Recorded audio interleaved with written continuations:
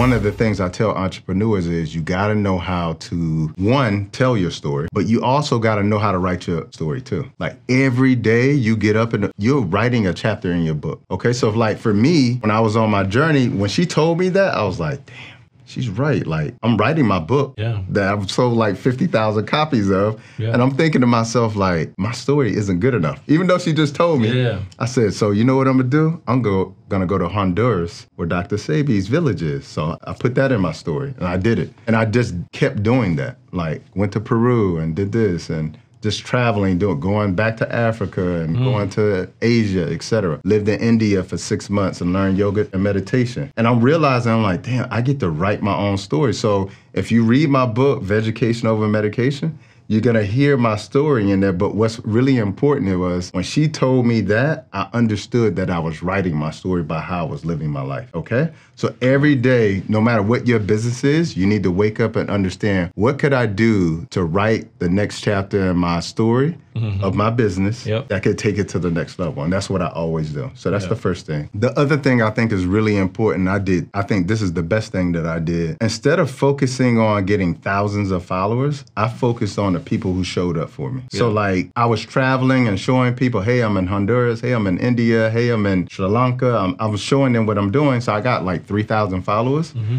But what I did was I invited them over to my new page that was going to be all about business. And I probably got a thousand people to show up from that. Mm-hmm. But only 50 people really were showing up to like likes and all that kind of stuff. Mm-hmm. And it, I said, you know what? Instead of trying to focus on these 950 people who aren't paying attention or I don't know are paying attention, I'm going to focus on the 50. So that's all I did from the beginning. If somebody kept showing up, I remembered their name. If somebody On, like lives and stuff like yeah, yeah. I remembered their name. If they sent me a DM and had a question, I answered it. And when I got ready to start a membership program, guess who I invited? The 50. 50. Guess how many came? 50. You see what I'm saying? So like I focused on them. And now every time I do a live, well, you'll notice every time I do a live, people mm. think these people are paid. They're not paid. this is like the now 200, 300 people who have been along this journey with me for so long, who have done my detox, read my book. I mean, they literally, if you ask a question, watch my lives. They're gonna be in there answering them for me. Wow. I don't pay them. Like they're just part of my membership program Wow. that I call my tribe family. So I think that's a really important part that a lot of entrepreneurs don't do. They don't know who their people are. Hmm. And even if my business collapsed today, you know, God forbid, because I'm doing God's work, but even if my business collapsed today, guaranteed I'm gonna have those 400 people. Wow. You know, they're gonna show up for me. We're gonna, I'm gonna say, look, they said I can't sell herbs no more. Mm-hmm. All right, so this is what we're doing now.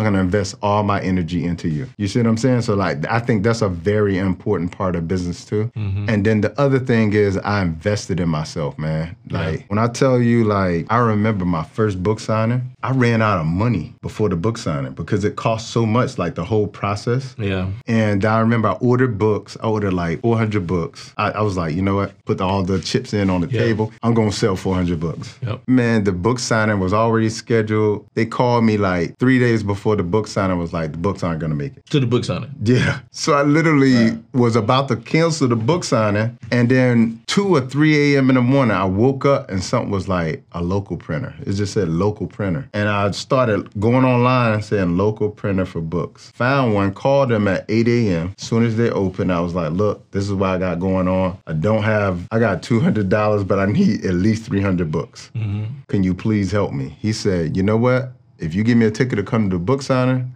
I'll print the books for you. He printed the books for me. I had maybe 100 tickets sold. And by the day of the event, I sold out the event. So he came and I literally paid him back at the book signing.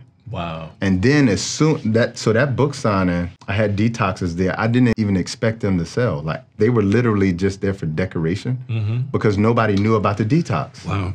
and everybody bought every detox. So I literally took the cash out of the cash box and paid him back. And then I took that money and went and bought more books instead of like saying I Yeah. got money. Nah, I went and bought more books immediately. And then the books that didn't come came in. And then I set up event at the event, at the event, at the event, and just start selling the book. So that's what I mean by like, don't wait for people to invite you to events, to invite you to podcasts. Don't wait for that. Create that kind of following that I talked about, like Yeah. that tenacious 10 or vivacious 50 Yeah. and invite them everywhere Mm-hmm. and tell them to invite their people. And that's what kept happening. I would invite my 50 out, that 50 would invite at least two people. So then I got 150 people at the event. You see what I'm saying? And Yeah, just that's kept doing that. Thanks for watching this video, but be sure to check this next video out that's right here.